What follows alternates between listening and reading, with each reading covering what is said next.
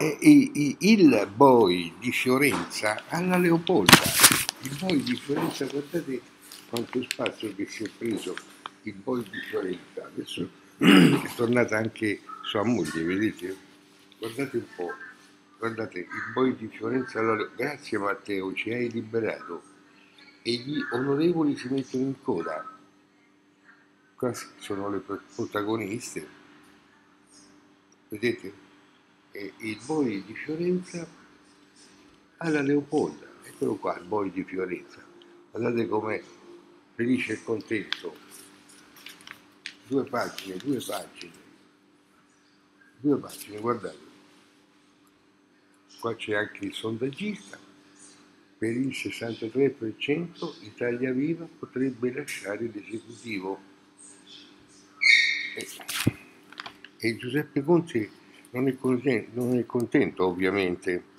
Giuseppe Conte ha sempre avuto paura di Matteo Renzi, anche prima che, che Matteo Renzi fondasse Italia Viva, aveva paura, e perché Matteo Renzi è, è, era ed è un grande antagonista di Giuseppe Conte. E Giuseppe Conte sta a Palazzo Chigi da un anno, un anno e mezzo, eh, ma Matteo Renzi a Palazzo Chigi c'è stato per mille giorni, quasi tre anni. E poi è, è un politico di, di, lungo corso Matteo Renzi, perché prima di andare a Palazzo Chigi è, è, è stato presidente della pro- provincia di Fiorenza, poi è stato sindaco della provincia di Fiorenza. Inoltre, in contemporanea al suo stare a Palazzo Chigi come premier, è stato per due volte, due volte è, è, è segretario del PD. E, Matteo Renzi è giovane, ma è un politico di lungo costo, attualmente è un senatore della Repubblica. Giuseppe Conte che era brava persona, eh? ha sempre avuto paura di Matteo Renzi, ha sempre avuto paura. Capito? Che Matteo Renzi quello che ha detto stai tranquillo, dico, vedete che ha anche una bella moglie, Matteo Renzi, vedete che bella che era la moglie di Matteo Renzi.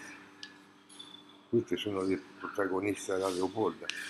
E, e Giuseppe Conte non è neanche contento di questa nuova visibilità e di Matteo Renzi.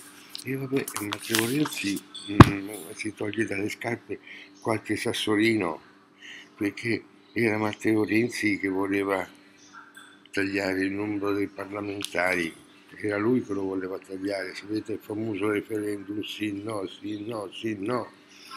E poi il popolo italiano mm, che, che, che gli vuole bene i parlamentari, il popolo italiano ha, ha votato no, però Matteo Renzi al referendum si è preso il 40% dei voti, eh, il 40% dei voti.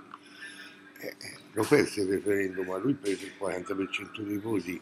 Eh, poi è diventato senatore e adesso si sta togliendo i sassolini dalle scarpe. Per me fa bene togliersi i sassolini dalle scarpe e il boia di Fiorenza. E voi cosa ne pensate? Cosa ne pensate voi? voi siete voi e, e, e, io sono io, io sono questo qua, vedete? Sono stato professore di filosofia e storia nei licei, poi sono stato preside di volo nei licei classici e scientifici e successivamente, eh, anche in contemporanea, ho scritto tutte queste belle opere. Fatemi sapere cosa pensate del poi di Fiorenza, cari amici. A tutti tanti cari saluti da Serafino Massoni.